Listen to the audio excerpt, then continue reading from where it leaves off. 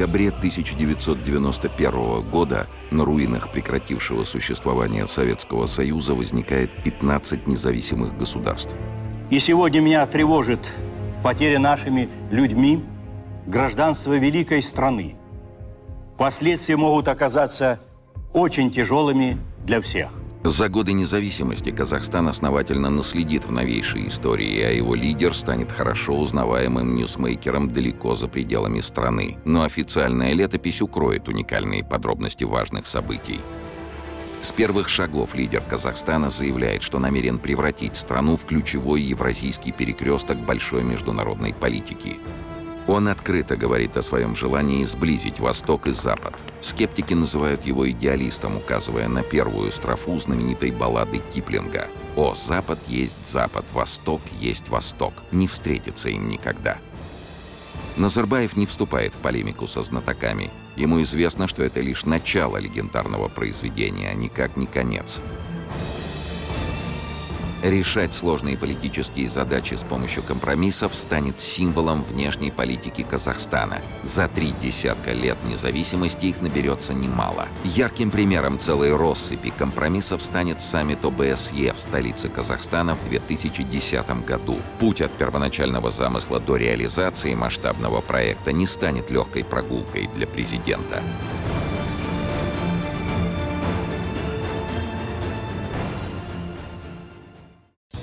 Воплощать однажды сказанное в реальность станет стилем президента Назарбаева. Искренняя заинтересованность в развитии дела дает пищу для последующих шагов. И так будет с самого начала. Он человек того же поколения, что и я. Он не видел телевидения, потому что его не было. Он читал книги. Нет такого же в мире, который бы пришел из кочевого прошлого. Он даже не знал, где он родился. Это бедное кочевое прошлое. Но если вы начинаете понимать силу кочевого народа, вы видите, насколько они могут быть сильны в политической карьере. И родился я, вырос абсолютно простой э, христианской семье. Самое яркое впечатление, оставшееся с самого детства, это горы, конечно, среди которых я вырос. Направо смотришь горы, налево смотришь горы, огромное ущелье, и э, на дне этого ущелья бурлит белая пена воды, которая течет. Идешь по этой реке до самой вершины, до, сне, до снежных гор летом, и это незабываемо. Но поскольку работа отца была связана с животноводством, летом они выезжали на летние пастбища в горы, а зимой спускались на зимовки. Естественно, мне приходилось ездить с матерью на, на одной лошади, сзади у нее. И вот, э, вот эти вот поездки, вот эта э, вершина гор – которые всегда вдохновляют, всегда дают энергию. Гору дают энергию. До сих пор я туда езжу, обязательно заезжаю, потому что я э, напитываюсь энергетикой в этих горах. Э, вот это э, впечатление первое, которое остается и до сих пор в воспоминаниях. Лежишь ночью, ходишь по этим местам и успокаиваешься.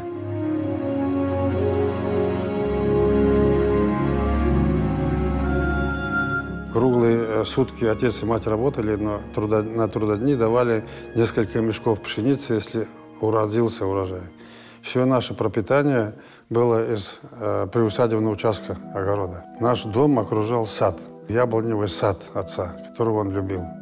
Эти яблоки закладывались э, в погреба, весной продавались на базаре, это были деньги и, и себе, и так далее. Вот э, таким образом жили. И вот эти яблоневые сады, вот сейчас весной, когда в Алмате цветут яблони, все белым бело, и я обязательно туда езжу.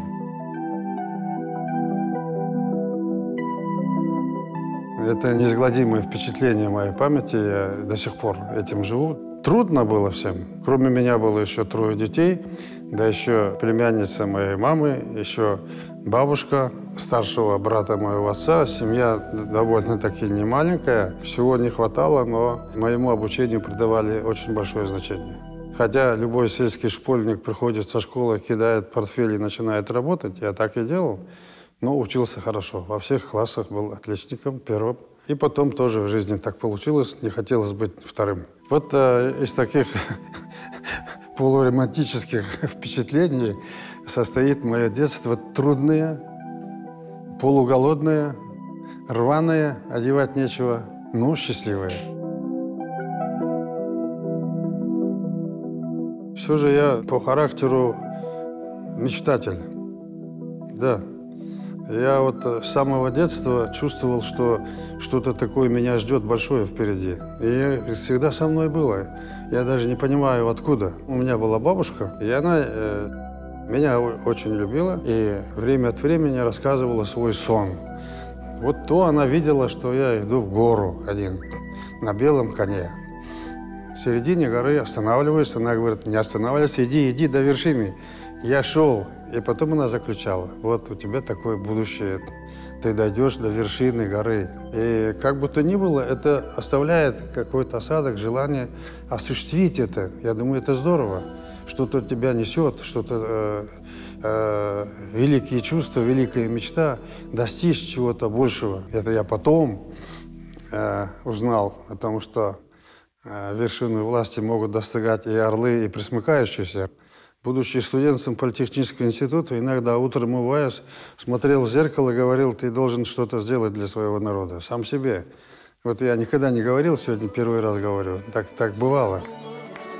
Успешный политик должен иметь в своем арсенале широкий набор инструментов и навыков. За годы в большой политике президент Назарбаев в совершенстве овладеет многими из них, но помимо традиционных у него в запасе есть и несколько оригинальных инструментов, один из которых он применяет с большим удовольствием.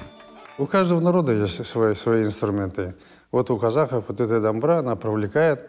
Вечером придешь, возьмешь, начинаешь перебирать, и у тебя э, все забывается, воспоминания какие-то идут. Поэтому я, мне это нравится. Мне нравятся люди, которые хорошо играют на домбре. Вообще я люблю музыку. У меня мама хорошо пела, а отец сам песни сочинял. И она из этих пела, я сидел рядом всегда. И поэтому, не имея таких особых способностей, ну, мне желание великое было, но я не мог осуществить. Например, сосед у нас был э, дамбрис, я ходил к нему брать уроки по ночам. Ему не до меня было, но все равно. Но я до конца не освоил, хотя э, дамбра – это душа казаха. Кстати, кюи, дамбру, напевы, мелодию дамбры может понять только казах, родившийся казахом в степи с запахом полыни в носу. В казахской песне надо слова слушать, не музыку. Слова имеют очень большое значение. Поэтому вот, э, к этому чувство есть э, с детства, но таким профессионалом, конечно, я не стал. Я стал в другом, как вы знаете теперь, в другом деле. Хорошая музыка не только вдохновляет президента Казахстана с раннего детства, но и прекрасно дополняет неформальное общение с важными переговорщиками, особенно когда высокий гость, такой как, например, глава Всемирного банка господин Вулфинсон, тоже не просто любит музыку, но и прекрасно владеет виолончелью. Я ему напевал, чтобы он уловил этот мотив. И он старался уловить, я пел. Ну.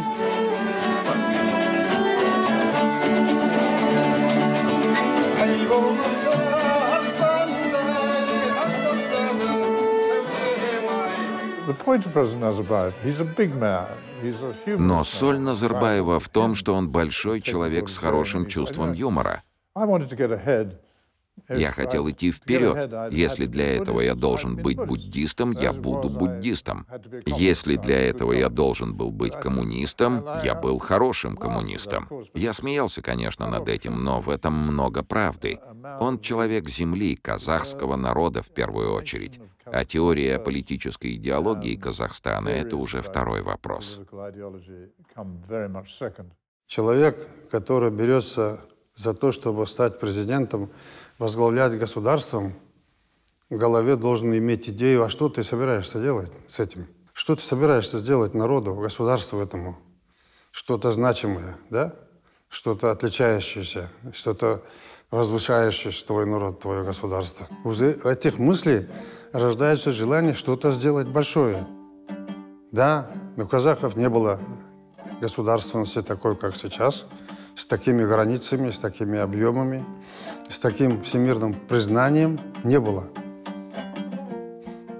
Мне Аллах помог поставить Казахстан на карту мира, где его не было.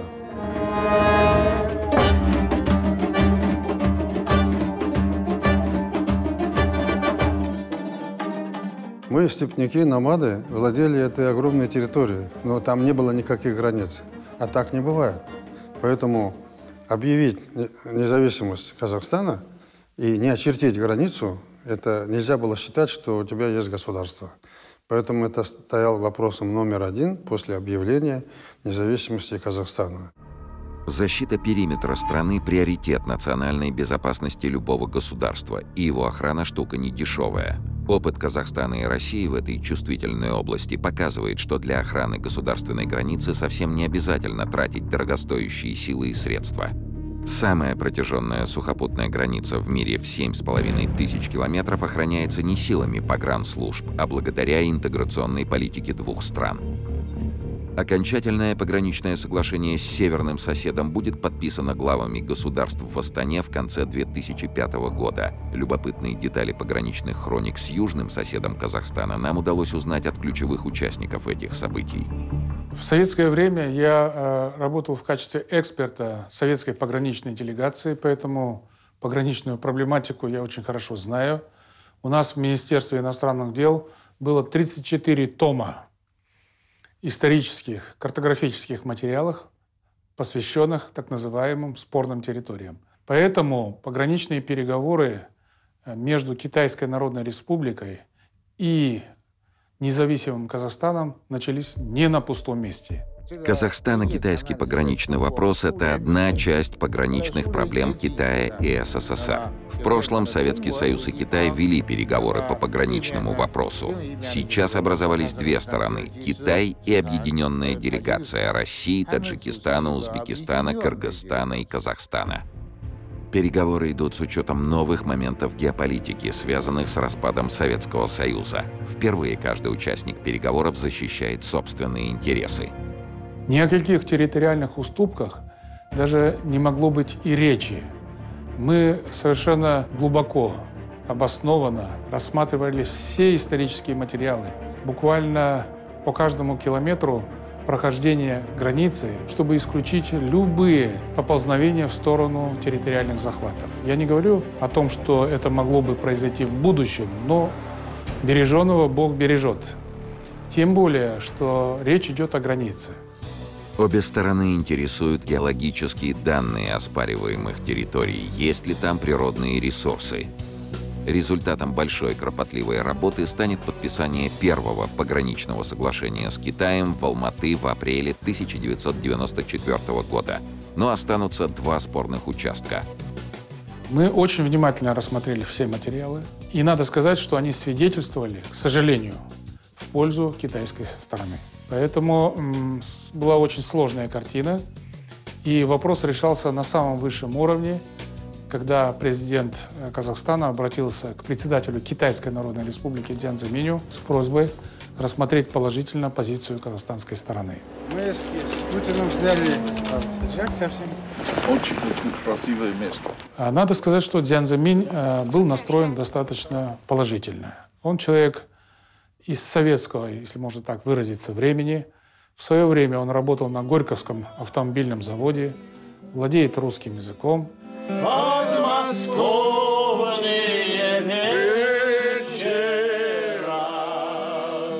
И он так сказал, что наступит новая эпоха, наступят новые геополитические реалии, и поэтому этот вопрос надо решать сейчас. И он был решен. Я могу с уверенностью сказать в пользу Казахстана – в том смысле, что мы достигли компромисса. Считаю, что была выполнена историческая задача, граница с Китаем была делимитирована, а затем демаркирована. То есть были поставлены пограничные столбы по всей протяженности границы. Решать сложные политические задачи с помощью компромиссов станет символом внешней политики Казахстана. За три десятка лет независимости их наберется немало. Ярким примером целой россыпи компромиссов станет саммит ОБСЕ в столице Казахстана в 2010 году. Путь от первоначального замысла до реализации масштабного проекта не станет легкой прогулкой для президента. Компромисс – термин дипломатический. То есть э, ты должен уступать, он должен уступать, и в конце концов прийти к консенсусу. Вопрос э, проведения в Астане саммита ОБСЕ – это целая эпопея. Как только сказали, что председательствовать будем в ОБСЕ, нас не пускали председательствовать, просто избрать. At that time I was president of OSCE. В то время я был председателем ОБСЕ, и мне удалось из 53 стран-кандидатов выбрать Казахстан. Это была очень сложная задача, потому что это было впервые, когда страна из Центральной Азии, республика бывшего Советского Союза, должна была возглавить ОБСЕ. И последние 56 государств согласились, 57-е Америка. Я был с визитом, младший Буш был президентом. Значит, мне мой посол в Америке, все говорят, не поднимайте этот вопрос, дохлые, они будут против. Как это против?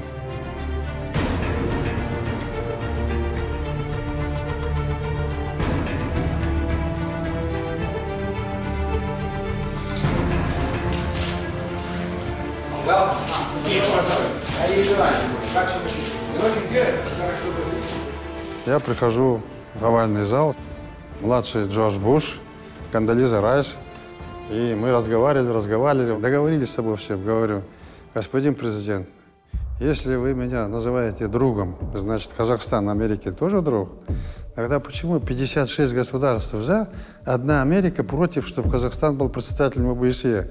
Сразу Кандализа, госсекретарь, говорит, Конди, что там у нас, что там такое?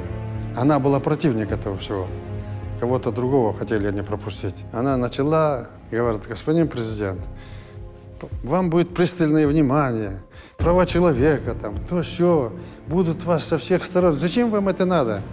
Говорю, господин президент, вы меня поддержите, а там я разберусь с этим вопросом. Ладно.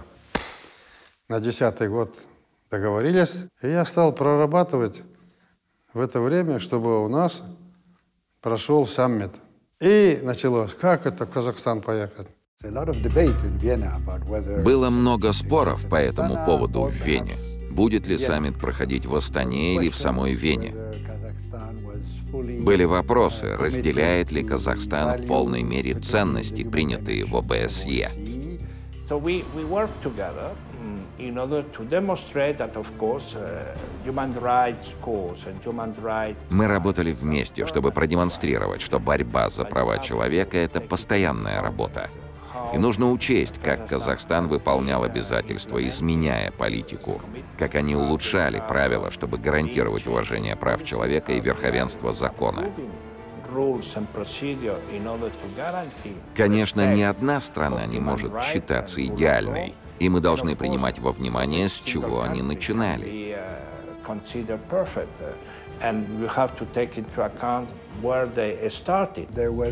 Goodwill Многие участники ОБСЕ хотели, чтобы саммит состоялся, особенно со стороны Российской Федерации. Нужно помнить, что председательство Казахстана началось после событий в Грузии в 2008 году.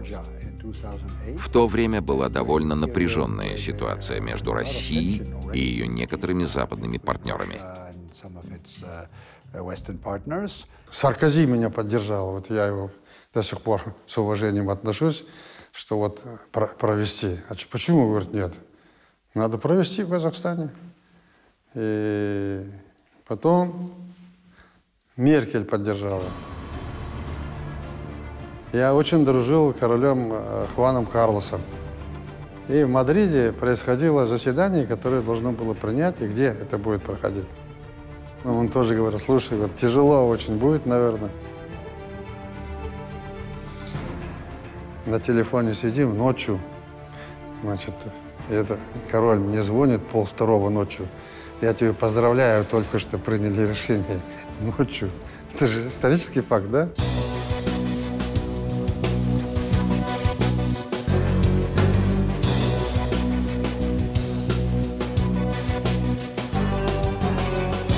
Позвольте Астанинский саммит официально объявить открытым. Ich habe auch die Konferenz in guter Erinnerung. Ich weiß noch, dass ich als Vertreter Österreichs gesessen bin zwischen dem Präsidenten von Я очень хорошо помню конференцию, потому что я, будучи представителем Австрии, сидел между президентами Азербайджана и Армении, которых сложно назвать друзьями.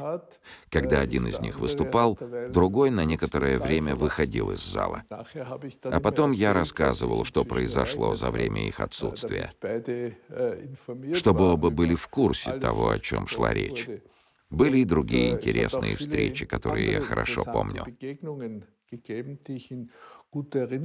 Два дня выступали, выступали. Последний документ не можем принять.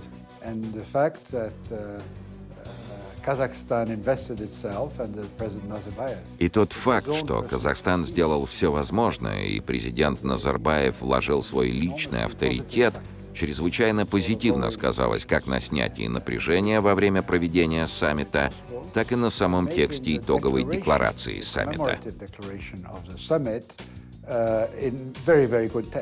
И учитывая важность того, что необходимо было все-таки попытаться развязать те клубки противоречий и проблем, с которыми сталкивалась организация э, в 2010 году, Э, наш президент поставил четкую задачу, чтобы мы постарались в итоговом документе отразить общее видение всеми главами государств и правительств стран-членов ОБСЕ, э, видение о важности создания свободного, демократического, общего и неделимого сообщества евроатлантической и евразийской безопасности. Со всеми согласовали, нашли консенсус – и уперлась между Азербайджаном и Арменией. Оба мои друзья старые, да, чем мы вместе. Ну, у них же всегда тот говорит самоопределение нации, этот говорит неприкосновенность границ, незыблемость. Обычно эти встречи министерского уровня ОБСЕ или саммиты заканчиваются к обеду. В Астане принятие итогового документа, оно затянулось. Прежде всего из-за того, что необходимо было найти точки соприкосновения между странами, которые, к сожалению, вовлечены в замороженные конфликты на пространстве ОБСЕ. Это был амбициозный саммит ОБСЕ. Я помню, помимо результатов, гибкость и желание идти на компромиссы со стороны президента Назарбаева.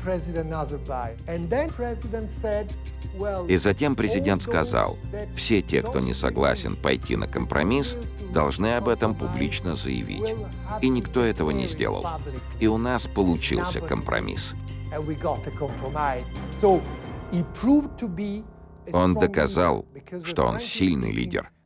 Честно говоря, в определенный момент мы не могли терять время на что-то, чтобы вести праздные разговоры. Мой премьер-министр, господин Берлускони, и я были под впечатлением. Берлускони все время со мной сидел, я, говорю, до конца буду, говорит, поверь мне, говорит, я заседаю в ЕС, 57 государств, это, говорит, Мура никогда не будет. Ты согласись, что просто протокол примите, но решения не будет. С этим согласись. Ты уже провел, это великое дело сделал. Радуйся, что ты провел. Нет, говорю, ну решение должно быть. Как так? обсуждает, обсуждает. Я уже сижу дома, два часа ночи на телефоне, держимся, все. Из дома звоню Саркисяну, говорит, слушай, Серж, ты из-за одного слова решил меня подвести, какой ты после этого друг называешься? Он говорит, ну ладно, если Ильхам согласится, я соглашусь. Звоню азербайджанскому президенту, говорю, Ильхам Геляш, ну ты вообще не должен в этих случаях вставать. А тот согласился, я говорю, согласился, согласись. И я быстро поехал во дворец, собрал всех. Я говорю, все согласны. Консенсус достигнут, ударил молотком по деревяшке и решил вопрос. Сложно было? Очень сложно. Должен сказать, что самое сильное воспоминание о президенте — это пресс-конференция, которую он дал после саммита.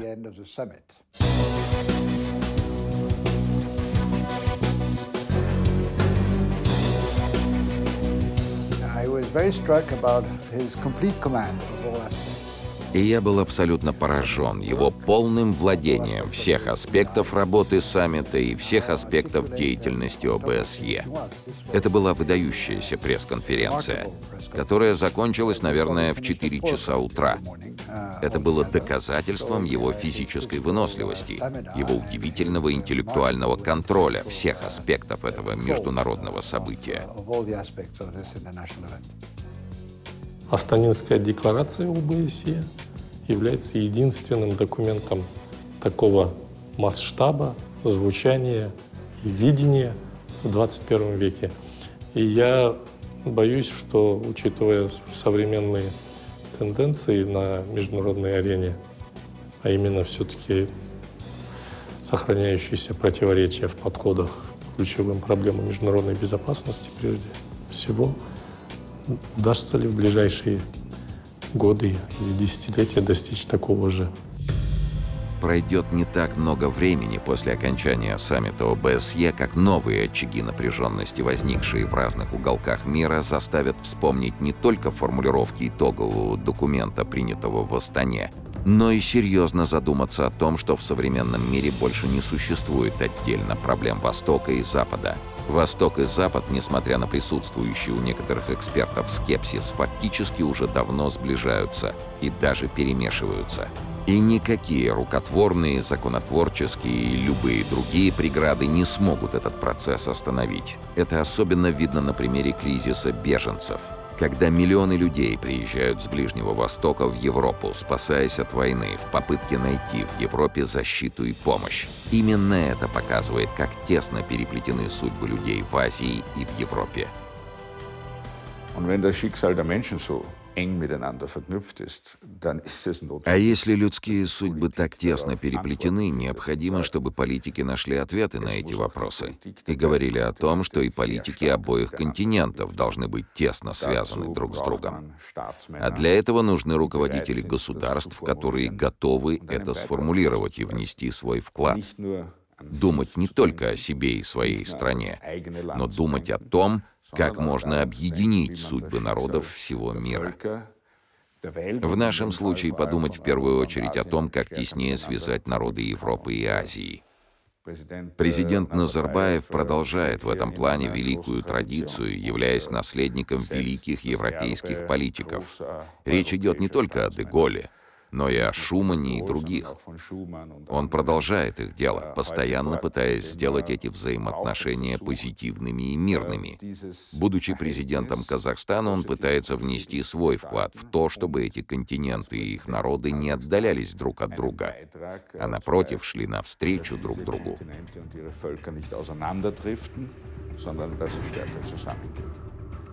Сегодня Казахстан востребован на самом острие международной повестки. Он активный участник самых разных процессов. Один из важнейших — попытка найти путь к мирному урегулированию сирийского кризиса. Uh, Это произошло сразу после страшной битвы за Алеппо. Uh, Это было перед Рождеством.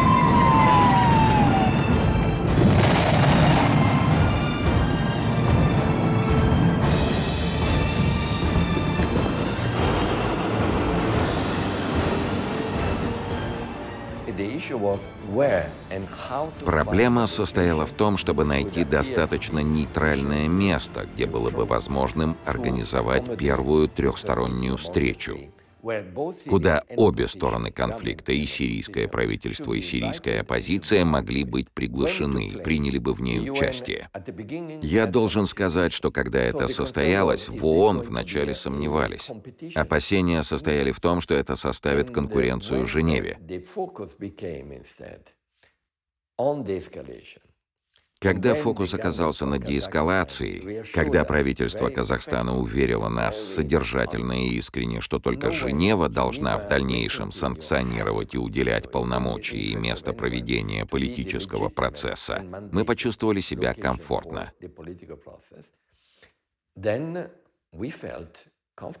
Ко мне обратились вместе э, Путин, Эрдоган и иранские президенты. Слушай, а что если в Астане провести вот эти мирные переговоры? Я подумал, говорю, если они согласны, они все согласны, они только к тебе хотят и ехать. В том числе оппозиция вооруженная, которая в Женеву не ездит, а сюда хотят приехать. Президент Назарбаев Президент Назарбаев уже доказал свой огромный интерес способствовать развязке конфликтов путем убеждений, путем международных встреч.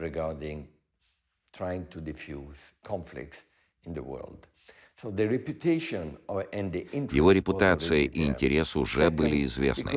Во-вторых, Казахстан доказал, что находится в очень хороших отношениях практически с любой страной в регионе.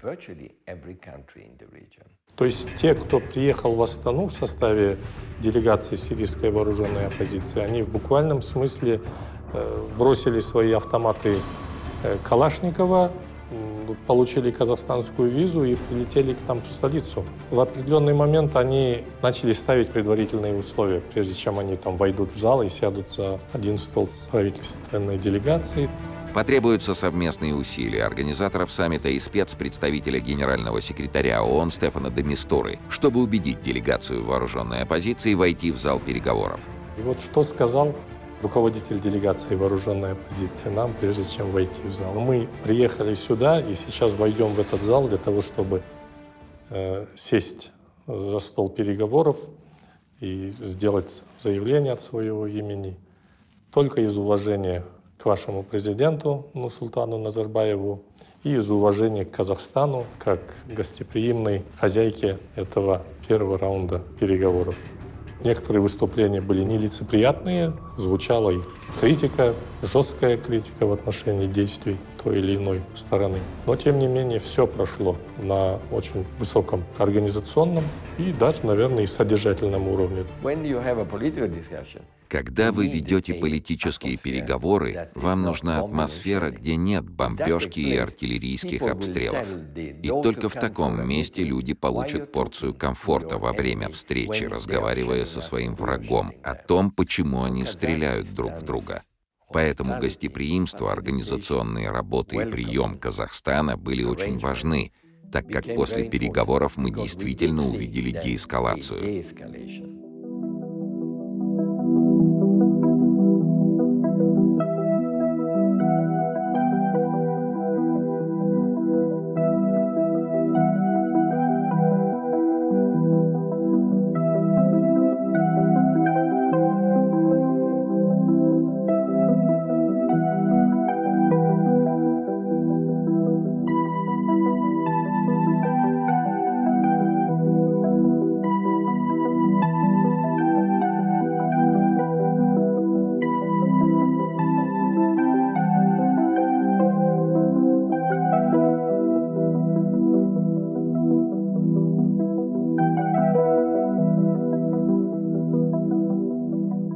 Вот сейчас девятый раунд переговоров прошел, и очень успешный.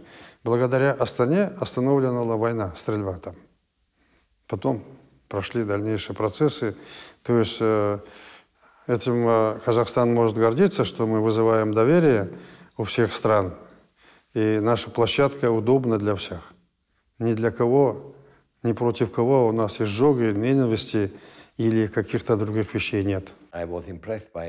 Я был впечатлен тем, как он был сфокусирован на сирийской теме, которой я занимаюсь, и как он хотел убедиться в том, что ООН располагает всем необходимым для поиска решения проблемы. И я могу дать наглядную оценку. Встречи в Астане были организованы на высшем уровне. Я ни разу не почувствовал какого-то вмешательства или давления. Это может сказать любой участник встречи. И тот факт, что Казахстан сейчас является непостоянным членом Совета Безопасности, безопасности. Я думаю, что это свидетельство доверия, которое ему оказывают многие страны. А если взять актуальные конфликты, особенно на территории бывшего Советского Союза, в первую очередь конфликт вокруг Украины, ситуацией там мы никак не можем быть удовлетворены.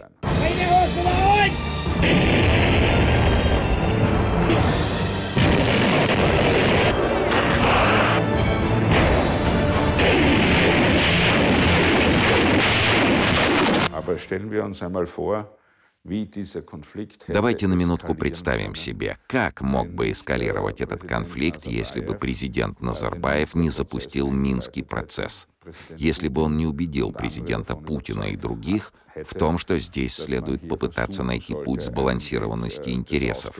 Положение было бы значительно драматичнее. 乌 克兰这个危机呢出现以后， После начала украинского кризиса я по рабочим делам поехал в Россию, Украину и Казахстан. Наибольшее впечатление на меня оказала встреча с Назарбаевым после того, как он вернулся с проверки регионов. Мы подробно обсуждали украинский кризис. 那么当天呢就紧急来召见我，来这个 就是讨论呐、 Подписанный в сентябре 2014 года Минский протокол о прекращении огня не заключен. Встреча глав государств в Милане в октябре 2014 года также не даст результата. Боевые действия на Украине не прекращаются. Четыре месяца европейские СМИ выдают сенсацию. Из-за постоянного обострения ситуации на востоке Украины главы Франции и Германии неожиданно решили отправиться в срочном порядке в Киев и Москву для проведения переговоров. Уже сегодня Ангела Меркель и Франсуа Оланд прилетят на Украину. Ангела Меркель и Франсуа Оланд после Киева отправляются в Москву. Уже сегодня в Кремле российский президент Владимир Путин обсудит с ними, как сообщается, неотложное урегулирование на Украине. О поездке глав Германии и Франции стало известно буквально за день до визита. Еще в Киеве Оланд и Меркель заявили о том, что у них есть мирный план, который устроит все стороны. Действительно, для многих этот визит станет неожиданностью, но на самом деле все спланировано заранее. Меня сильно задело э, конфликт между Россией и Украиной. Я в Украине учился, хорошо знаю экономику Украины, большая металлургия там, я на всех заводах побывал, людей знаю. И мне казалось, нонсенс, как Россия может поругаться с Украиной? Приехал к нам как раз Холланд, со всеми с ними договорился, говорю, давай соберемся в Киеве. Договорился с Владимиром Владимировичем, чтобы он по дороге в Париж остановился в Москве. Мне кажется, в аэропорту даже встретились, поговорили. В конце декабря 2014 года президент Казахстана отправится с визитом в Киев. Формальным поводом станет 20-летие подписания договора о дружбе Казахстана и Украины. Основная причина визита – поиск выхода из политического тупика. Конечно, я ринулся туда. Я говорю, что, что вы делаете? Давайте. Под эгидой кого-то, под э, патронажем кого-то можно сесть за стол переговоров с Россией, решить вопросы? Я чувствую, что э, позиция поддержки Украины – это совершенно искренняя позиция президента Республики Казахстан и казахского народа. Нурсултан Абишевич, я искренне благодарен вам за это от имени Украины. Я как э, человек, как на Востоке говорят, старший по возрасту и политическому стажу, обращаюсь и к России, и к Украине, э, думать над тем, чтобы найти компромисс совместный, чтобы выйти из этих условий, сохранив территориальную целостность Украины и э, сблизив позиции, которые есть, потому что эта ситуация нонсенс, она ненормальная. Переговорив с украинским президентом в Киеве, президент Назарбаев прилетит в Москву. Уважаемый Нурсан Абич, очень рад вас видеть в поздний час, но, по-моему, не страшно будет возможность поговорить спеша. Знаю, что вы приехали к нам через Киев, будет возможность рассказать, рассказать о встрече э, в украинской столице. Президент Назарбаев готовность предоставить площадку столицы Казахстана для мирных переговоров. Встреча глав стран-участниц урегулирования украинского кризиса будет запланирована в Астане на январь 2015 года. Но она не состоится. Официальная причина – эскалация напряженности в зоне боевых действий. Но есть и другая версия. Найдутся те, кто посчитает неуместным переводить решение исключительно европейской проблемы в Азию. Но кто сказал, что решение проблемы должно непременно происходить на соседней от боевых действий улице? И если речь идет о судьбах простых людей, невольно ставших заложниками войны, не должно быть места ни абсурдным амбициям, ни тем более монополии на мирное урегулирование. Я никогда не считал, что где оно должно пройти, в Астане, Минске, не суть важно. Суть важно то, что должно было быть. Поэтому образовался Минский процесс, были достигнуты договоренности, но до сих пор хромает, спотыкается, все это идет. Это был еще один пример того, что не обязательно быть супердержавой с десятками тысяч ядерных боеголовок для того, чтобы вносить существенный вклад в дело укрепления мира.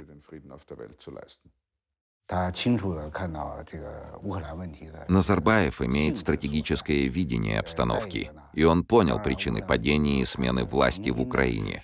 Конечно, причин возникновения кризиса в Украине много, и это не только внутренний фактор, но также и внешний фактор. Назарбаев может решать возникающие проблемы. Он способен, адаптируясь к международной обстановке, делать правильный выбор и защищать независимость, свободу и демократию своего государства.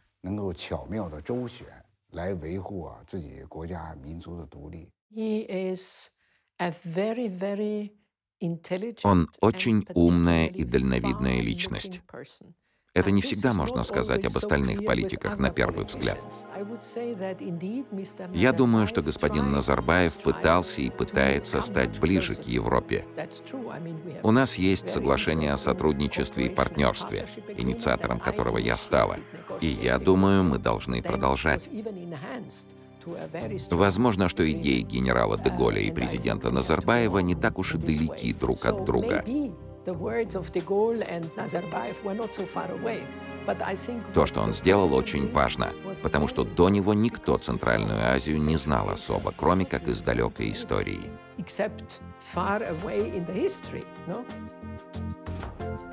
Из стран Европейского Союза Казахстан подписывает первый в истории договор о стратегическом партнерстве с Испанией – Таким образом, лидер Казахстана прорубает стратегическое окно в Европу с самых западных окраин европейского континента вглубь континента, а не наоборот, как это сделал император Всероссийский в стародавние времена.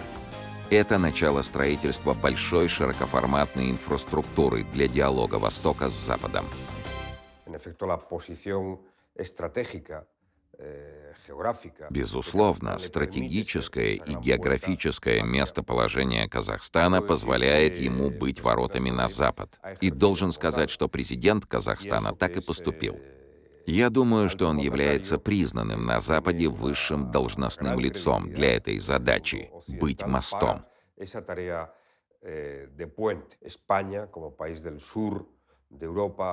Испания, будучи страной в Южной Европе открытой и приверженной к своим отношениям со странами Средиземноморья, арабским и мусульманским миром, играла важную роль в налаживании отношений с Казахстаном, где большинство населения является мусульманами. И эта страна имела большие возможности для сотрудничества с западным миром. И почему бы не сказать о том, что успешные отношения с Казахстаном помогли Испании в налаживании связей с Россией? nos permitía también una mejor relación con Rusia. Президент Назарбаев в поиске новых друзей неизменно помнит о старых. И слова испанского премьера о позитивном вкладе в отношении Испании и России отнюдь не единственное тому подтверждение – а то, что такие детали широкой аудитории практически неизвестны, говорит лишь о том, что для лидера Казахстана приоритетом является суть вещей, а не праздные разговоры. Взаимовыгодная экономическая интеграция с Россией – базовый элемент в стратегии лидера Казахстана. За годы совместной работы им будут предложены интересные, амбициозные проекты. Реализация одного из них могла бы позволить странам Центральной Азии обрести выход в открытое море. Действительно, мы раскопали, случайно, может, или намеренно раскопали такой проект, когда была попытка, и даже вроде бы началось строительство в первые годы советской власти, там, Каспийско-Азовского такого канала, да, а, который э, давал бы практически выход всем э, странам прикаспийским выход в открытое море через Азов и Черное море. Был такой проект, я об этом действительно как-то рассказал Нурсултану Абишевичу, ему это показалось интересным, и он потом на э, Санкт-Петербургском экономическом форуме об этом говорил. Об этом говорил, говорит, давайте мы это сделаем. Знаковым проектом может стать строительство нового судоходного канала Евразия от Каспийского моря к Черному морю. По данным экспертов, этот канал был бы на тысячи километров короче Волгодонского и стал мощным коридором выхода всей Центральной Азии к морям через Россию. Я знаю, что исследование было сделано э, с помощью или э, Евразийским банком развития. Вот. Э, это, это действительно было. Э, ну, к сожалению, не получило развития. Советские специалисты видели большой потенциал в реализации проекта. С 1936 по 1941 год построят три гидроузла будущего канала. Однако с началом Великой Отечественной войны работы будут остановлены. Возрожденный амбициозный проект, инициированный президентом Казахстана, получает название «Евразийский судоходный канал». Он рассчитан на транспортировку нескольких десятков миллионов тонн нефтепродуктов и других товаров в год. Из стран Центральной Азии транзитом по территории России на рынок Евросоюза. Пока рабочая группа экспертов занята изучением потенциальной выгоды и просчитывает варианты оптимизации возможного ущерба для окружающей среды, что всегда сопровождает подобные проекты, неожиданно возникает группа критиков. Их главный аргумент – не хотим превращаться в Панаму, но это скорее комплимент, чем уничижительное сравнение. Не составит большого труда узнать, насколько успешными стали проекты Панамского канала и других его сородичей. В конце концов, околополитические опасения возьмут верх над экономической целесообразностью. Судоходный канал Евразия объявят ненужным странам Каспия и угрожающим экологии и транзитным интересам России. Так проект заглохнет во второй раз, но уже в мирное время. Евразийский судоходный канал не единственный пример несбывшихся надежд. Есть и другие примеры, когда договоренности по намеченным проектам были заморожены или превратились в бессрочный долгострой. Остается лишь надежда, однажды они будут реализованы. По крайней мере, президент Назарбаев спустя 10 лет после своей инициативы по строительству Евразийского судоходного канала предлагает реанимировать этот важный интеграционный проект проработать возможность реализации крупных инфраструктурных мегапроектов. Перспективным стало бы строительство судоходного канала Евразия, который позволит связать водными путями Черное и Каспийское море. Сегодня трудно посчитать упущенную экономическую выгоду, которая разошлась по альтернативным транспортным коридорам. Чего здесь больше, политики или экономики? Трудно сказать. На севере у нас Россия, на юге Китай, поэтому мы с этими крупными государствами должны очень плотно взаимодействовать. И мы, будучи здесь, э, в Китае, стараемся всячески э, продвигать интересы Казахстана, э, все приоритеты нашей внешней политики, все те задачи, которые глава государства ставит перед нами, мы стараемся здесь с китайскими партнерами все эти вопросы прорабатывать.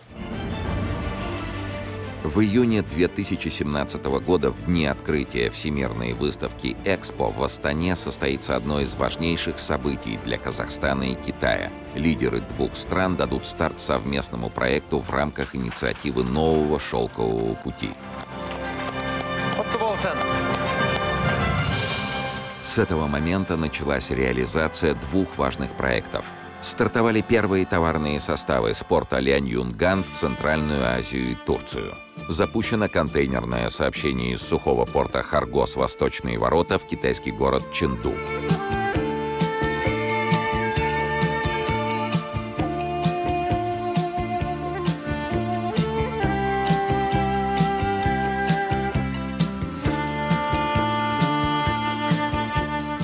порту Лянь-Юнган находится терминал совместного казахстанско-китайского предприятия.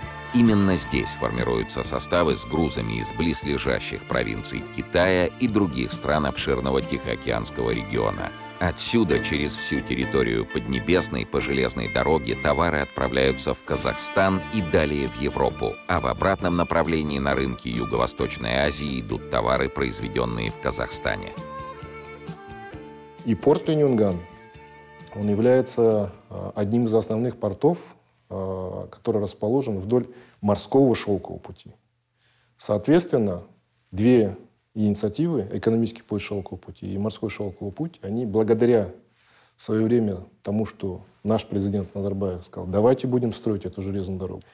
И китайская сторона этот маршрут, этот порт и порт Харгос, сухой порт Харгос, они включили официально в перечень тех проектов, которые входят вот, э, в реализацию инициативы «Один пояс, один путь». Хоть и получила название «Один пояс, один путь», но речь идет не об одной транспортной ветке, как иногда ошибочно полагают. Ее реализацию можно сравнить с кровеносной системой человека. Во множество транспортных артерий, вен и мелких капилляров должен вырасти новый шелковый путь по задумке его инициаторов. Ну, дай сенсе, я полностью поддерживаю проводимую Казахстаном политику по диверсификации транспортных маршрутов и использованию транзитных возможностей. Это также способствует развитию кооперации между регионами и интеллектуальному обмену. Японские политики определяют Казахстан в качестве важного стратегического партнера в Центральной Азии. К тому же страна обладает огромными природными ресурсами. В свою очередь, Япония имеет развитые технологии и ноу-хау для производства товаров с высокой добавленной стоимостью – которые можно было бы внедрить в Казахстане. То есть наши экономики взаимодополняют друг друга, поэтому, думаю, мы имеем большие перспективы для взаимовыгодного сотрудничества. Будет невозможно связать Восток и Запад, если не проложить путь через Казахстан. И с точки зрения экономики наиболее выгодные транспортные маршруты проходят именно через Казахстан.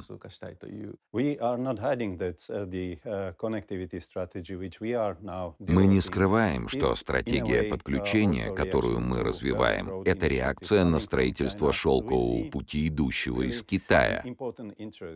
И мы наблюдаем большой интерес и реформы в Центральной Азии, которые направлены на наши нормы и стандарты по определенным моделям и практикам практикам, которые можно применить в регионе. Мы очень рады видеть, что эти принципы и ценности глубоко внедряются и отражаются в стратегиях развития стран, принятых недавно, включая стратегию 100 шагов, предложенную президентом Назарбаевым. the strategy 100 steps, uh, which was initiated by President Nazarbayev.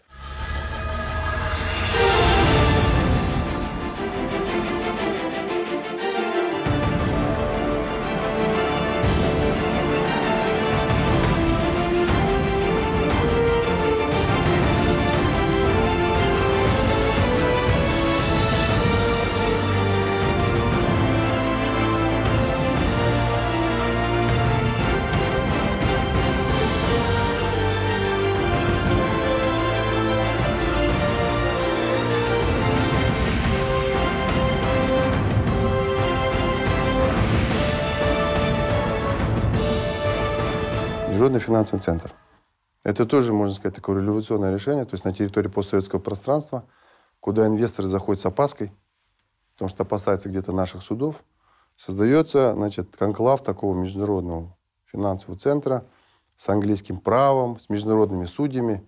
И инвесторам сюда легко прийти, потому что там все на английском языке, известные судьи, известные, значит, э, правила, понятные для инвесторов. It gives an opportunity for Astana Он дает возможность Астане сфокусировать на себе внимание для международных финансовых инвестиций во всем регионе. Потому что если вы хотите привлечь инвестиции и финансы со всеми вытекающими из этого последствиями, вам нужно организовать эффективную законодательную базу.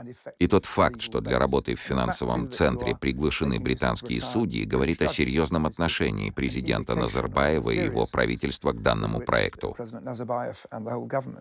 takes this project. Central Asia should go on.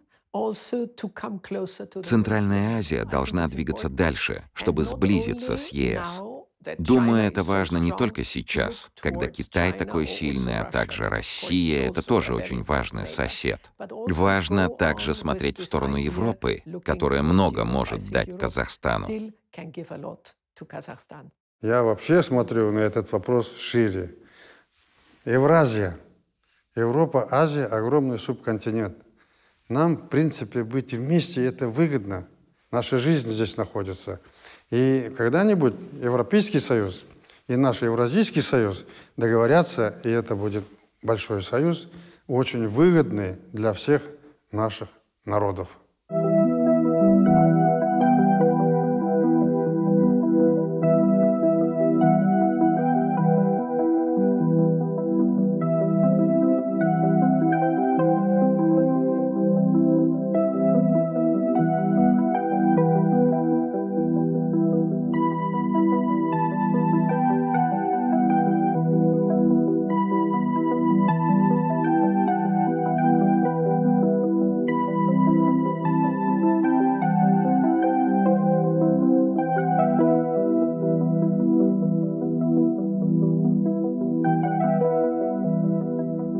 О, Запад есть Запад, Восток есть Восток. Не встретятся им никогда, пока будут небо с землей таковы, какими их Бог создал. Но Запада нет и Востока нет. Нет наций, родов и преград. Когда двое сильных и смелых мужчин друг другу в глаза глядят.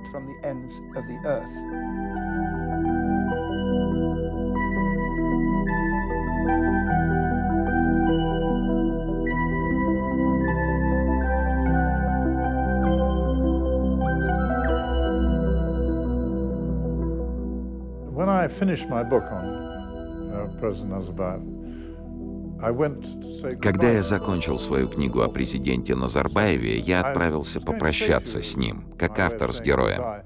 И прощаясь, я хотел доставить ему удовольствие цитатой, которая нравилась другим президентам, о которых я писал. И это изречение Софокла звучит так.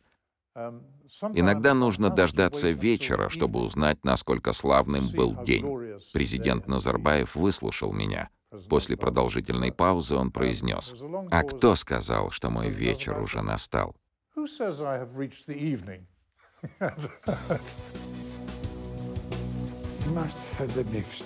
Он должен был понимать историю, не притворяться императором, иметь дело с соседними странами,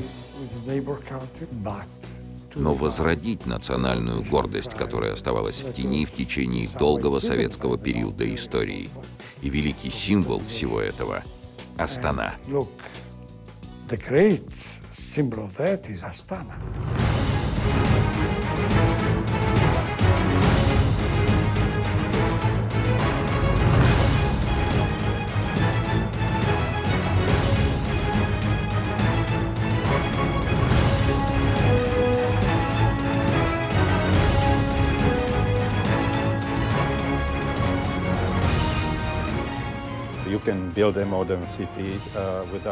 Вы можете построить современный город, но без лица. У Астаны есть свое лицо. Город наполнен жизнерадостным духом казахстанцев и видением президента Назарбаева. People and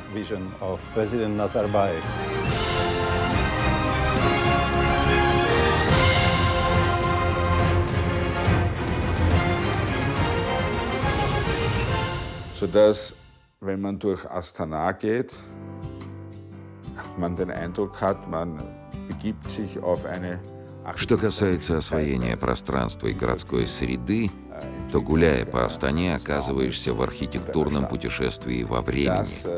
Я думаю, что это делает Астану очень привлекательной для многочисленных гостей. zu einem sehr reizvollen Anziehungspunkt für viele Besucher. Но особенно поражает то, как за такие короткие сроки Астана превратилась в живой город. Ей исполнилось 20 лет. Для истории городов это ничто. Это всего лишь мгновение. Nichts. Das ist sozusagen.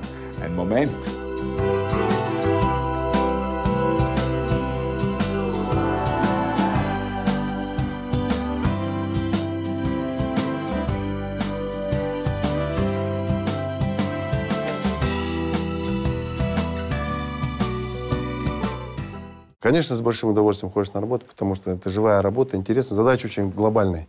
Помогать президенту вот, реализовывать его идею, превратить Астану в глобальный умный город, называют Global Smart City, и один из центров евразийского пространства.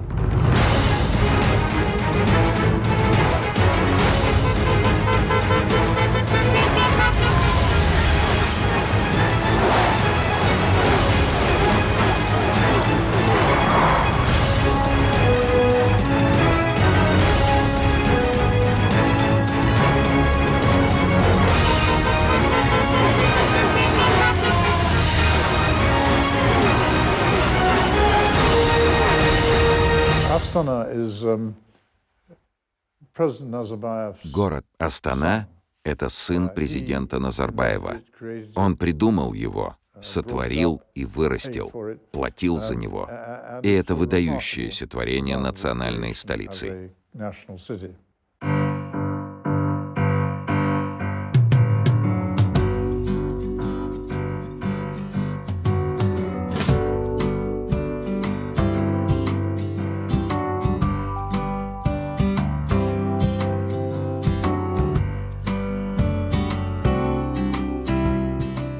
Я просто обожаю столицу Астану, которая выглядит великолепно. Она превосходна. И миллион людей, который там живет, должен очень гордиться своей столицей.